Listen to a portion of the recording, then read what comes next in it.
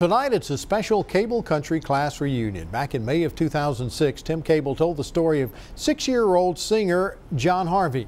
Now, exactly five years later, Tim finds out how John is coming along. Remember this pint-sized picker? I hear the train a coming. This junior Johnny Cash crooner?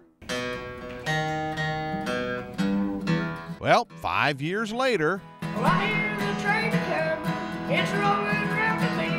John Harvey Cash is still money.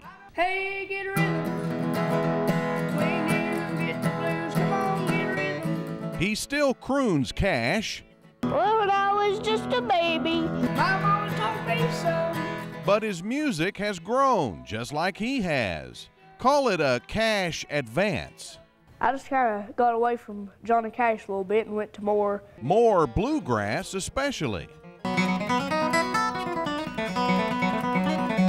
With uh, Johnny Cash, you can't do much picking and stuff, which is kind of what I wanted to do. I played, but never at the level that he's at.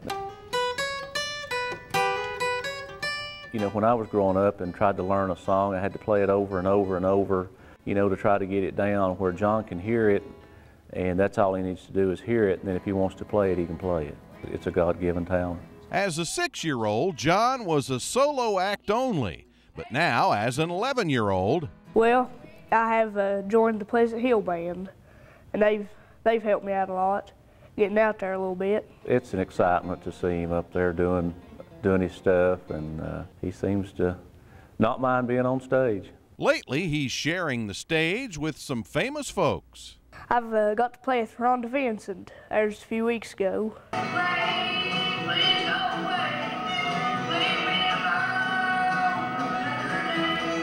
And uh, speaking of sharing the stage, Hey, Hey, get rhythm. When you Get the blues, come on, get rhythm. get rhythm. When you get, come on, John, get rhythm. Waiting for you to get it.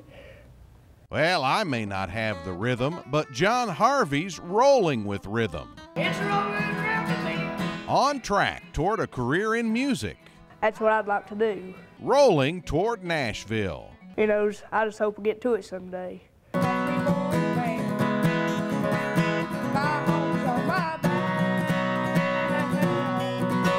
If it happens for him, that's good. If it, if it doesn't, that's fine too. Um, I hope he keeps the musical interest going, and hopefully that's something that, you know, he'll keep on and keep at for years to come.